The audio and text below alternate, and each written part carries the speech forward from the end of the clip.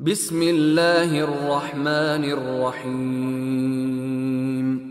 يسبح لله ما في السماوات وما في الأرض الملك القدوس العزيز الحكيم. هو الذي بعث في الأميين رسولا منهم يتلو عليهم آياته ويزكيهم. ويزكيهم ويعلمهم الكتاب والحكمة وإن كانوا من قبل لفي ضلال مبين My dear brothers and sisters in Islam, topic of my khutbah today is four names of Allah subhanahu wa ta'ala and four tasks of Prophet Muhammad, peace be upon him. This topic is based on the verses that I just recited from Surah Al-Jum'ah, chapter number 62 and verse number 1 and 2. Allah Tabarak wa Ta'ala says in these verses, يُسَبِّهُ لِلَّهِ مَا فِي السَّمَاوَاتِ وَمَا فِي الْأَرْضِ These surahs are called as Musabbihat, which means all these verses revealed in Medina starts from Tasbih of Allah Ta'ala. It says, everything in heavens and everything on the earth declare the glory of Allah subhanahu wa ta'ala. An introduction of Allah subhanahu wa ta'ala is given. And then four names of Allah ta'ala is mentioned. And what are four names? Al-Malik, the king. Al-Quddus, the pure. Al-Aziz, the lawgiver or the authority. Al-Hakim, and the wise. This is a brief introduction of Allah subhanahu wa ta'ala, that Allah ta'ala is great and everything on the earth and everything in the heavens declare the glory of Allah subhanahu wa ta'ala.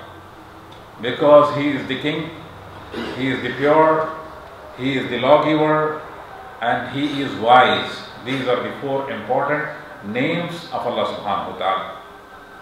And in the second verse, Allah wa Ta'ala gives a brief introduction of Prophet Muhammad sallallahu alayhi wasallam and also mentioned about four tasks of Prophet Muhammad sallallahu alayhi wasallam. Allah Ta'ala says, هو الذي بعث في الأميين رسولا منهم It is He who has sent down from among themselves from unlettered community a prophet.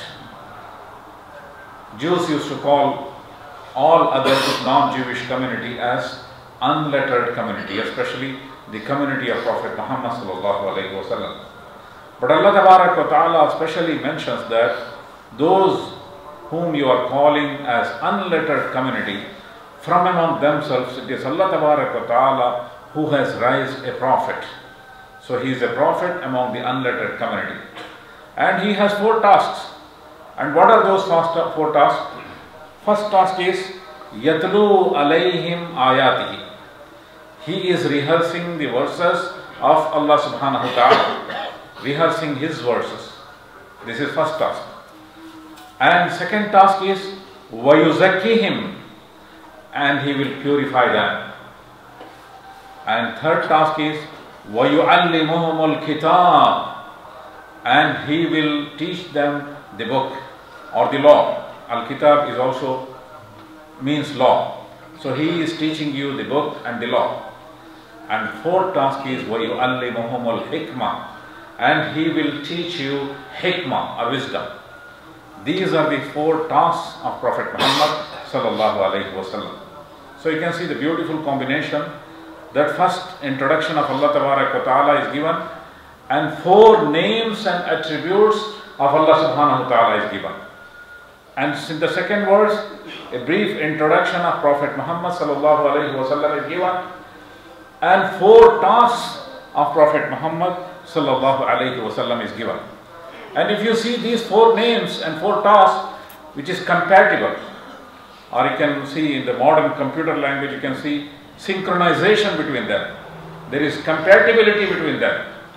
See, first name is Al Malik. Malik means the king. Normally, if you consider as worldly kings, they have expectation from their subjects. They give messages to their subjects. The message from the king. And these messages convey you the expectations. I expect certain things from you. You have to follow these guidelines. And you have to live according to this. Then only, and what is the relationship between king and the subject? All these things are explained by the king. So here again, the king means Allah subhanahu wa ta'ala, he anticipate certain things from you. And he wants to see what kind of relationship you have with Allah subhanahu wa ta'ala. That's why the first task is Yatlu alayhim ayatihi. He will rehearse the verses of the king. Verses of Allah subhanahu wa ta'ala. So this is the first task. And what is the second name? Al-Quddus. Al-Quddus means pure. Allah Ta'ala is pure, free from all kinds of impurities and demerits. So the task is also, if you see, the compatible. And the task of Prophet Muhammad the second task is him, and he will purify them. Allah is pure, and naturally he will expect the purity from his subjects. The task of Prophet Muhammad is purify them. This is the expectation from the people, expectation of Allah subhanahu wa ta'ala. That's why he, he has given the task. You can see how the name of the Allah subhanahu wa ta'ala and the task of Prophet Muhammad sallallahu is related. And what is the third name? Al-Aziz. Al-Aziz means the lawgiver or and the authority. Again here the third task of Prophet Muhammad sallallahu is وَيُعَلِّمَهُمُ الْكِتَابِ He will teach you the law or teach you the book. Al-Kitab is usually used for prescriptions and laws and do's and do nots. For example, when fasting is made compulsory for you, the word mentioned is kutiba alaykum. For you, fasting is prescribed, kutiba. The word kutiba is used. So al-kitab means prescription. So Allah Ta'ala is the one who gives law. What you have to do, what you should not do. These laws should come from Allah subhanahu wa ta'ala. And laws is only from Allah subhanahu wa ta'ala. And it is our responsibility to follow the laws from Allah subhanahu wa ta'ala. So it is the responsibility of Prophet, the third task of Prophet Muhammad to give you law and to teach you law from the book. What you have to do, what you should not do, what is halal and what is haram, what is possible for you to do and what is allowed for you to do and what you should not do. So you can see the explanation, you can see the compatibility also that Allah is the lawgiver and Prophet Muhammad is teaching you the law. And what is the fourth name? Al Hakim. Allah Ta'ala is wise. And so many attributes of Allah Ta'ala. For example, Al Alimul Hakim. Allah Ta'ala is knowledge, all knowing, and He has all wisdom. Ilm can be alim can be translated as knowledgeable. When it is applied to human beings, human beings are knowledgeable. I may be knowledgeable, you are knowledgeable, you may be having so many no aspects of knowledge you may be, you know, well versed about. I may have some knowledge, so we can all consider as knowledgeable people. But when it comes to Allah subhanahu wa ta'ala, Allah is not knowledgeable, but Allah is all knowing. There is a difference between knowledgeable and all knowing. Allah Ta'ala is not knowledgeable, but Allah Ta'ala is all knowing. And there are so many knowledgeable people in the world. They may not have wisdom. And you know, every knowledgeable people may not have wisdom. And knowledge is sometimes used against wisdom. For example, atom bomb is a knowledge. And it comes from the equation of a chemistry, E is equal to mc square. So this is the knowledge. And based on that knowledge, you can develop a bomb. But if it is used without wisdom, it is used for destruction. So knowledge and wisdom may not go hand in hand. But Allah Ta'ala is not like that. Allah is all knowing and He has all wisdom. So this is a great attribute of Allah subhanahu ta'ala. He knows everything. He has the wisdom. That's why it is necessary that in order to understand, we have to go back to the injunctions of Allah Ta'ala and to use our brain. Allah Ta'ala has given you brain and sometimes He kept you blank in order that you may think and derive and infer things from it. So that's why the fourth task of Prophet Muhammad sallallahu alaihi wasallam is al-hikmah, yu'allimuhum al-hikmah and teaching them the wisdom. Prophet Muhammad sallallahu alaihi wasallam's teaching is full of wisdom. Quran is full of wisdom. Islam is full of wisdom. And the teachings of Islam is full of wisdom. So you can see the four names and four tasks is very much compatible. The first name is king and the first task is teaching them, rehearsing them the verses of the king. And the second name is pure and the second task is purifying people. And the third name is uh, third name is Al-Aziz, means the lawgiver. And the task, third task is giving them the law and teaching them the book. And the fourth name is Al-Hakim, means the wise. And the fourth task is teaching them the hikmah. And these are the tasks of Prophet Muhammad sallallahu alaihi wasallam. And if you see all these four tasks is related to Quran. So Quran is very, very important part, part of our life. And if you know, for example, our relationship with Quran nowadays, if you see, we read it for barakah. Definitely, it can be read for barakah, it should be read for barakah. We read it for healing, Quran is a healing, we consider it. We can consider it healing and definitely Quran will heal you.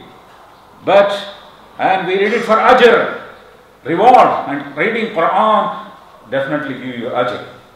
But the purpose of revelation of Quran is not just giving you ajr, not just giving you barakah, not just giving you healing. That is not the purpose of revelation of Quran.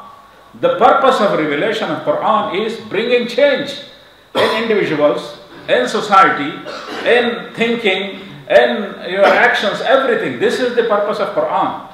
So we have to understand Quran this way. We have to try to understand Quran. Why Quran is revealed in Arabic language? Why the other books of Allah subhanahu wa ta'ala in different languages? The only reason is Allah ta'ala sees who is the first addressee.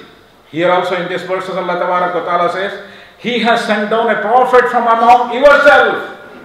The first community, for example, a foreigner will never become a leader. Go to any country, foreigner is not a leader there. Some foreigners are leader. Those foreigners who lived in the society, they took their nationality and they became part of the society. They are, you know, part and part. Then only they became a leader. So normally the human society means, it, and in a society where foreigners are leader, it is full of foreigners in those societies. Immigrant societies full of foreigners. So foreigners will become leaders. Normally, if you take any society, the local people, the person among you, one of them will become leader because it is a human psychology to accept the person who is amongst you. So Allah Ta'ala has chosen prophet amongst the people and conveys the message in their language. What is their language? In their language Allah Ta'ala has conveyed the message. So Prophet Muhammad sallallahu alayhi wasallam as a chosen among people, chosen among those people. And he conveyed the message in Arabic so that the first language of the addressees are Arabic so that they can understand. So understanding is a basic requisite of Quran. We should understand it. And we should not neglect it. Even today, Alhamdulillah, by the grace of Allah subhanahu wa ta'ala, Islam has reached everywhere. 80% of Muslims are non-Arabs. But it is a responsibility of every Muslim. Quran, for example, when you pray five times a day, you cannot pray in English. You cannot pray in any other language. You have to pray in Arabic only. You have to read the verses of Quran in Arabic. Why this compulsion is there? This compulsion is there that so, so that you should have a regular contact and a permanent contact with Quran and you should have a affiliation towards Arabic language. You should turn, turn to learn Arabic language to the extent that you can try to understand Quran. So if you go and check in your homes, if you don't have tafsir in your language, if you understand Arabic, that is well and good. And even if, if you don't understand Arabic, if you don't have tafsir, even if you understand Arabic, then you should also have Arabic tafsir in your homes. If you can't understand Arabic, you should have tafsir in different languages of your understanding. If you don't have tafsir in your house, that shows our negligence, that how much we are careless about Quran. We cannot be careless about Quran. We must and should have tafsir of our language, wherever whichever language we understands in our houses. So that is the purpose that Prophet Muhammad conveyed all these things through the understanding of Quran. And if you see all these four tasks is related to Quran. For example, yatlu alayhim ayatihi, rehearsing the verses. Verses of what? Verses of Quran.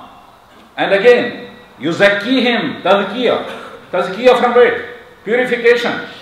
It is from Quran only.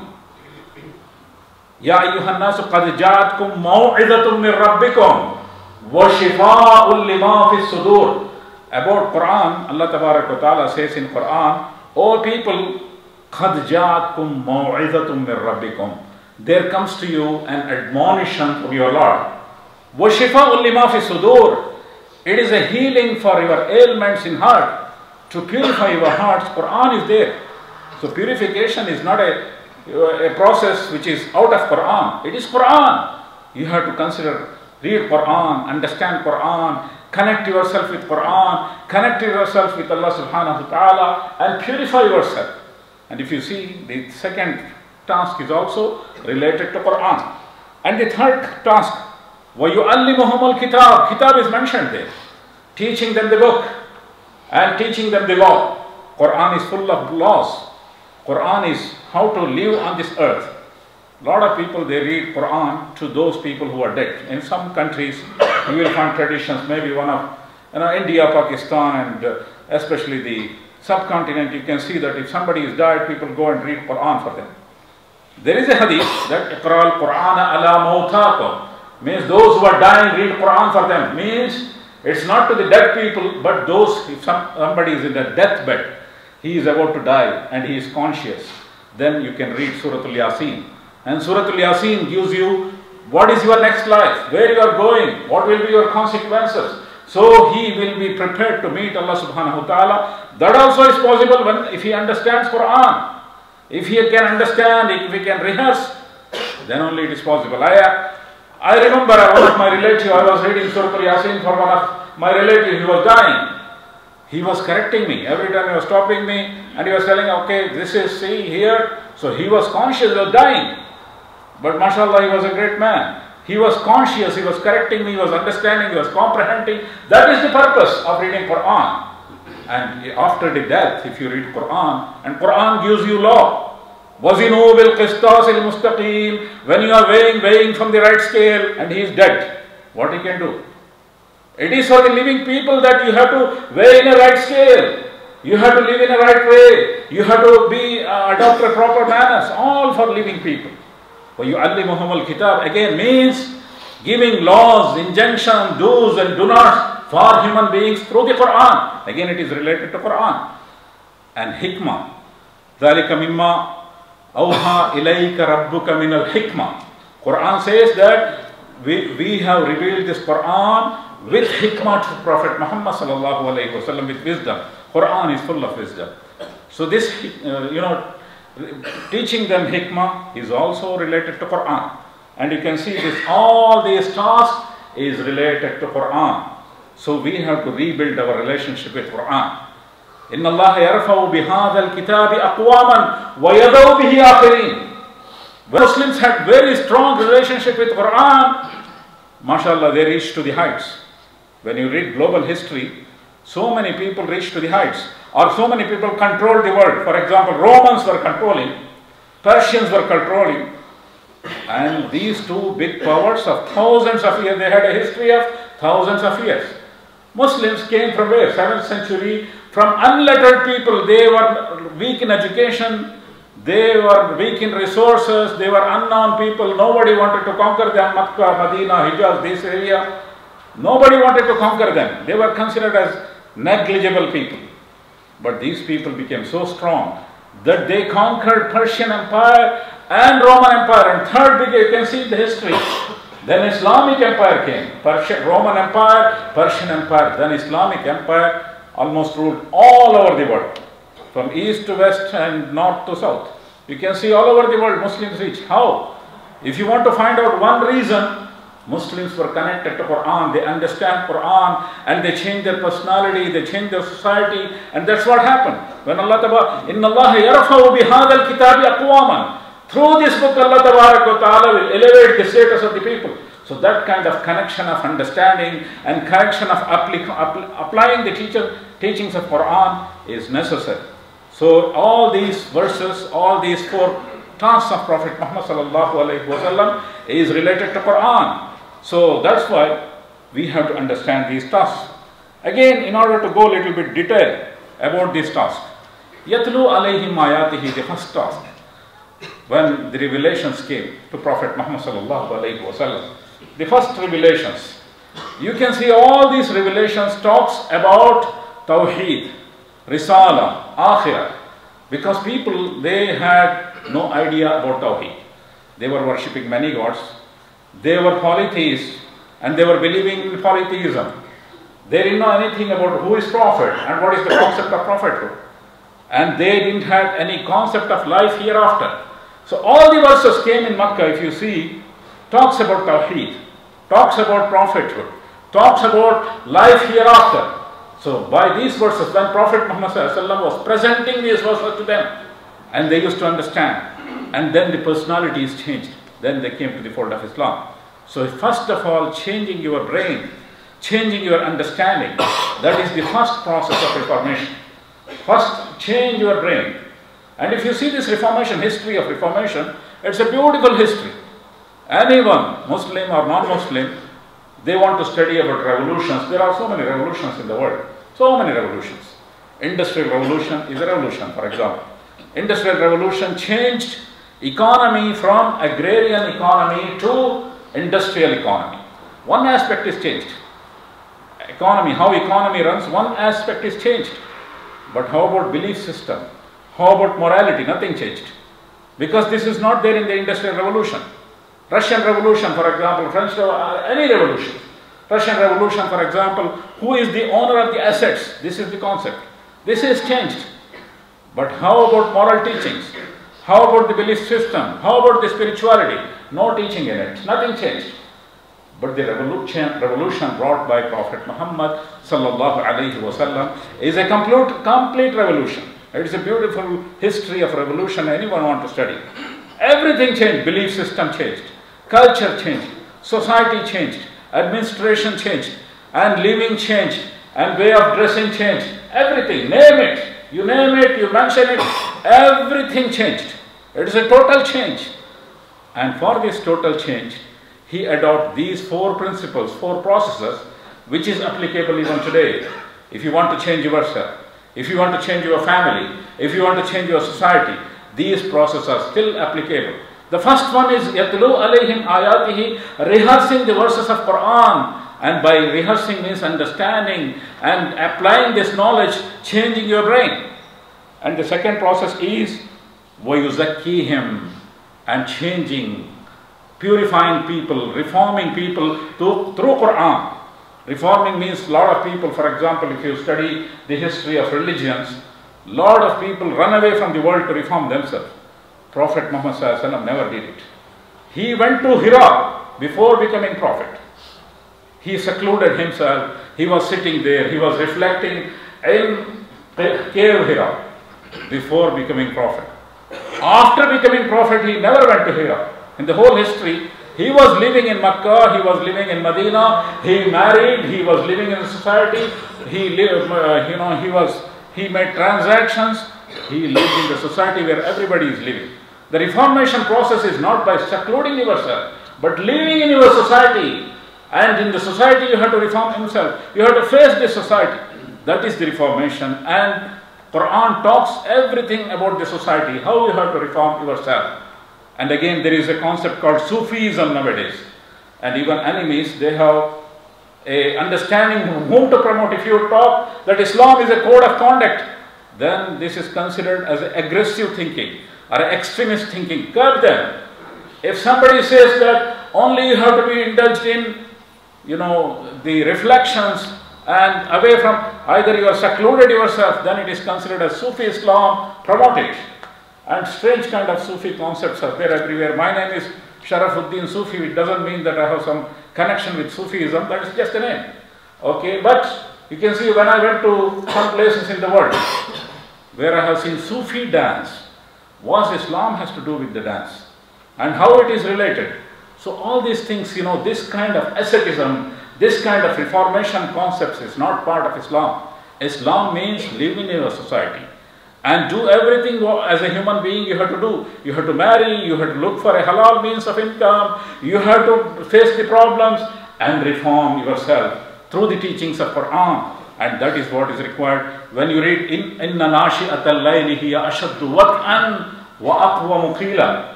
Verily getting up in the night is good for reading Quran and to reform yourself. This connectivity with Allah subhanahu wa ta'ala through the Quran will reform. So develop this connection. And the third one is وَيُعَلِّمُهُمُ الْكِتَابِ Again the law. Law also if you see Prophet Muhammad sallallahu alayhi wa sallam, he gave laws. He applied laws in a systematic way. Not everything. Normally people talk about bid'ah, about shirk, about halal, about haram only. Prophet Muhammad sallallahu alayhi wa sallam was not like that. In a systematic way. For example, in a society of Medina, people were drinking. People used to have alcohol. The first verse did not say alcohol is haram. But the first verse says, يسألونك عن الخمر والميسر قل فيهما اسم كبير ومنافع للناس واسمهما أكبر من نفعهما People ask about gambling and about alcohol. Say that there are some virtues, but there is great sin in it. And the sin is very huge compared to the virtues or benefits. What is benefit in alcohol? You may be asking.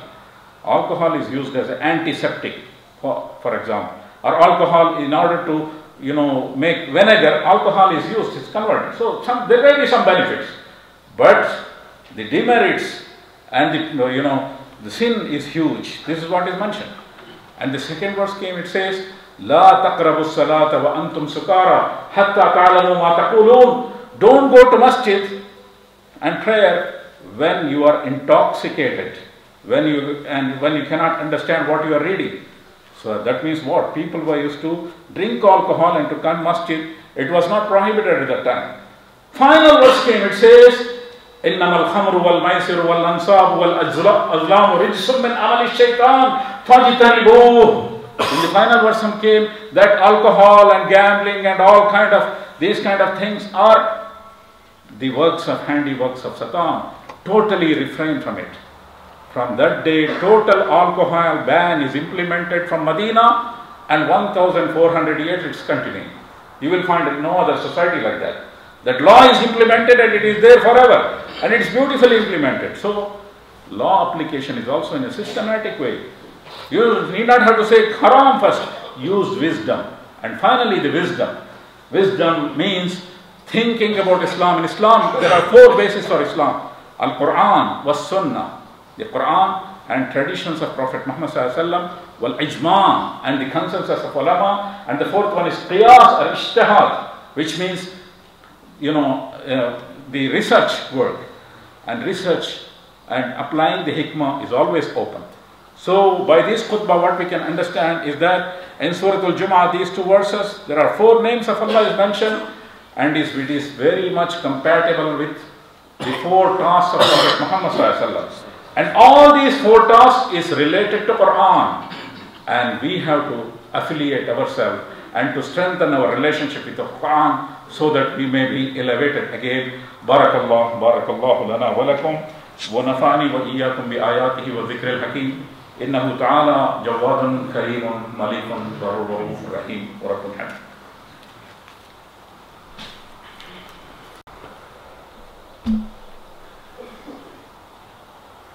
الحمد لله الحمد لله رب العالمين.